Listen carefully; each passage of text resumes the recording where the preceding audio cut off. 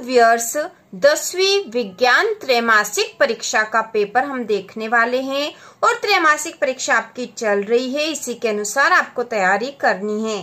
तो प्रश्न नंबर पहला है, सही विकल्प चुनकर लिखिए। इसका पहला प्रश्न है, खाद्य पदार्थों का कार्बन डाइऑक्साइड और पानी में टूटना किस प्रकार की अभिक्रिया है? उष्मा शोषी, थर्मिट अभिक्रिया उष्माशेपी या ऊर्जा परिवर्तन के बिना अभिक्रिया। तो इसका उत्तर होगा उष्मा शेपी अभिक्रिया। इसके बाद दूसरा है Fe2O3 धन 2Al इससे बना है Al2O3 धन 2Fe तो यहाँ पे पूछा गया है, ऊपर दी गई अभिक्रिया है। संयोजन, वियोजन, द्विविस्थापन या विस्थापन अभिक्रिया। तो यह है विस्थापन अभिक्रिया। इसके बाद अगला प्रश्न है किसी रासायनिक अभिक्रिया में भाग लेने वाले पदार्थ कहलाते हैं। किसी रासायनिक अभिक्रिया में भाग लेने वाले पदार्थ कहलाते हैं। उत्पाद अभिकारक यौगिक या मिश्रण। तो इसका उत्तर है अभिकारक। अगला है, हाइड्रोजन का योग एवं ऑक्सीजन का ह्रास कहलाता है। हाइड्रोजन का योग एवं ऑक्सीजन का ह्रास कहलाता है। अपचयन, रेडॉक्स, उपचयना संक्षारण अभिक्रिया। तो इसका उत्तर होगा अपचयन अभिक्रिया। इसके बाद अगला प्रश्न है, टूटी हड्डियों को जोड़ने के लिए प्लास्टर चढ़ाते समय किस पदार्थ का उपयोग होता है? टूटी हड्डियों को जोड़ने के लिए प्लास्टर चढ़ाते समय किस पदार्थ का उपयोग होता है? तो ऑप्शन दे रखे धावन soda baking soda plaster of Paris या ब्राइन। तो इसका उत्तर है प्लास्टर ऑफ़ पेरिस। इसके बाद अगला है दही में पाया जाने वाला अम्ल है। दही में पाया जाने वाला अम्ल है साइट्रिक अम्ल, ऑक्जेलिक अम्ल, लैक्टिक अम्ल या मेथेनोइक अम्ल। तो इसका उत्तर है लैक्टिक अम्ल। अगला है केक व पाव रोटी बनाने में किस पदार्थ का उपयोग होता है? धावन soda, baking soda, plaster of Paris या ब्राइन? तो इसका उत्तर है बेकिंग सोडा। ठीक है, केक व पाव रोटी बनाने में बेकिंग सोडा का उपयोग होता है। इसके बाद अगला है, अपच का उपचार करने के लिए निम्न में से किस औषधि का उपयोग होता है? अपच का उपचार करने के लिए निम्न में से किस औषधि का उपयोग होता है? एंटीबायोटिक, एनाल्जेसिक एंटेसिड या एंटीसेप्टिक। तो इसका उत्तर होगा एंटासिड। प्रश्न नंबर दूसरा है, रिक्त स्थान भरिए। इसका पहला प्रश्न है, मानव शरीर में ऑक्सीजन परिवहन के लिए उत्तरदायी वर्णक होता है। मानव शरीर में ऑक्सीजन परिवहन के लिए उत्तरदायी वर्णक क्या होता है? तो यहाँ हम लिखेंगे हीमोग्लोबिन हीमोग्लोबिन जो है यह ऑक्सीजन के परिवहन के लिए उत्तरदायी होता है हीमोग्लोबिन इसके बाद दूसरा है, पादपों में जल का संवहन उत्तक द्वारा होता है। तो यहाँ आएगा जायलम उत्तक द्वारा। जायलम उत्तक द्वारा। तीसरा है कपाल तंत्रिकाओं और मेरु तंत्रिकाओं से मिलकर तंत्रिका तंत्र का निर्माण होता है। तो यहाँ पे उत्तर आएगा परिधीय तंत्रिका तंत्र। परिधीय तंत्रिका तंत्र का निर्माण होता है। कपाल तंत्रिका और मेरु तंत्रिकाओं से मिलकर परिधीय तंत्रिका तंत्र का निर्माण होता है। इसके बाद अगला है अग्नाशय से निकलने वाले प्रोटीन पाचक विकर का नाम है। तो इसका नाम है ट्रिप्सिन। ट्रिप्सिन ठीक है? तो यहाँ आएगा ट्रिप्सिन अग्नाशय से निकलने वाले प्रोटीन पाचक विकर का नाम ट्रिप्सिन है। इसके बाद अगला प्रश्न है, मनुष्य में प्रतिवर्ती क्रिया का केंद्र होता है। तो मनुष्य में प्रतिवर्ती क्रिया का केंद्र मेरु रज्जु होता है। मेरु रज्जु इसके बाद अगला प्रश्न है, मनुष्य के मस्तिष्क में सोचने वाला भाग होता है। तो मनुष्य के मस्तिष्क में सोचने वाला भाग प्रमस्तिष्क होता है। प्रमस्तिष्क होता है। इसके बाद अगला है, दो तंत्रिका कोशिकाओं के मध्य खाली स्थान को कहते हैं। तो दो तंत्रिका कोशिकाओं के मध्य खाली स्थान को सिनेप्स कहते हैं। तो इस प्रकार से रिक्त स्थान भरेंगे। इसके बाद जो प्रश्न नंबर तीसरा है, एक वाक्य में उत्तर लिखिए। इसका पहला प्रश्न है, चांदी के आभूषण पर काली परत किसकी होती है? चांदी के आभूषण पर काली परत किसकी होती है? तो इसका उत्तर होगा तो इसका उत्तर होगा, चांदी के आभूषण पर काली परत सिल्वर सल्फाइड Ag2S की होती है। ठीक है, सिल्वर सल्फाइड की होती काली परत। इसके बाद अगला है CaOCl2 का प्रचलित नाम क्या है? तो इसका प्रचलित नाम है विरंजक चूर्ण। ठीक है, उत्तर आएगा विरंजक चूर्ण।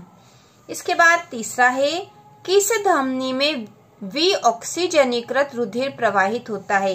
तो इसका उत्तर होगा फुफ्फुस धमनी में। ठीक है वी ऑक्सीजनीकृत रुधिर फुफ्फुस धमनी में प्रवाहित होता है। इसके बाद अगला है, मानव उत्सर्जन तंत्र की कार्यात्मक इकाई क्या है?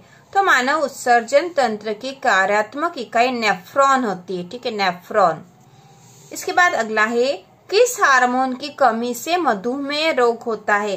तो इसका उत्तर होगा इंसुलिन ठीक है इंसुलिन हार्मोन की कमी से मधुमेह रोग होता है। अगला प्रश्न यहाँ पे दे रखा है, एक आपतित किरण समतल दर्पण पर 30 डिग्री का आपतन कोण बनाती है तो परावर्तन कोण का मान क्या होगा? ठीक है, आपतन कोण 30 डिग्री का है तो परावर्तन कोण का मान क्या होगा?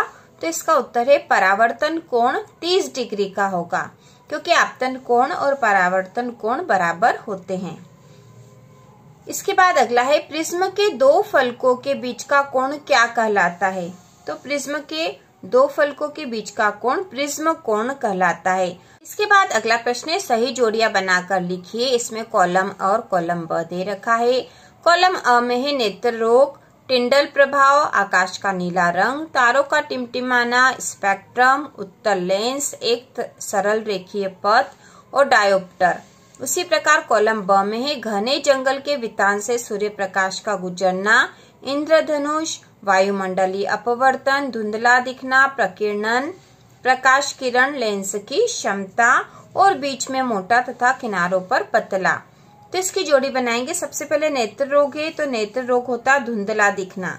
तो पहली इससे बनेगी। दूसरा टिंडल प्रभाव, और इसका उदाहरण है घने जंगल के वितान से सूर्य का प्रकाश गुजरना। तो दूसरे का आंसर ये होगा। इसके बाद है आकाश का नीला रंग।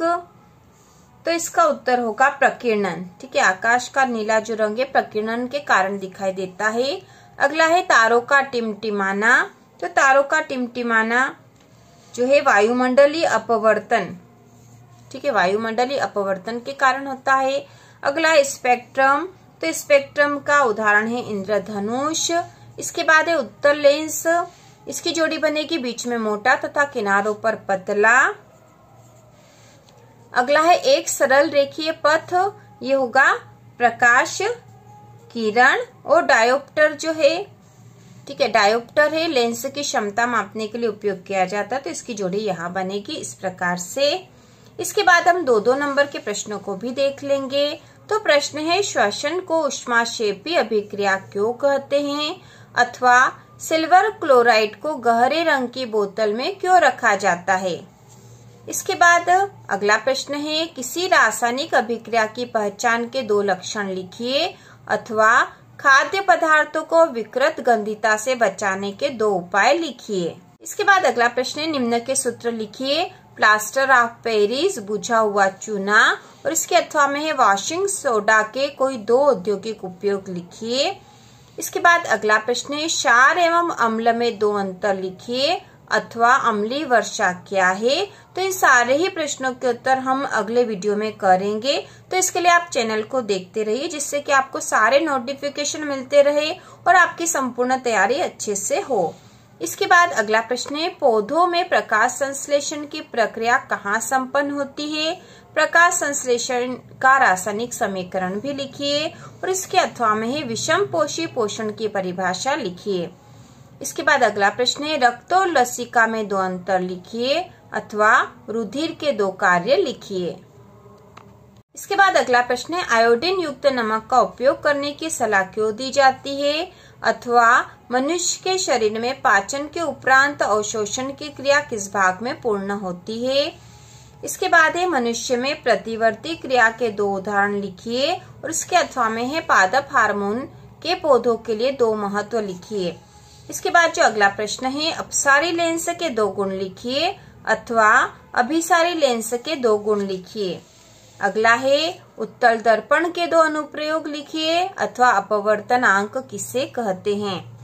इसके बाद अगला प्रश्न है, प्रकाश के विक्षेपण की प्रक्रिया को स्पष्ट कीजिए, अथवा तारे टिमटिमाते हैं, परंतु ग्रह नहीं क्यों। अगला प्रश्न है, रेटिना पर किसी वस्तु प्रतिबिंब किस प्रकार का बनता है अथवा दूरदृष्टि दोष क्या है? इसके बाद प्रश्न नंबर सत्रह है, रेडोक्स अभिक्रिया क्या है?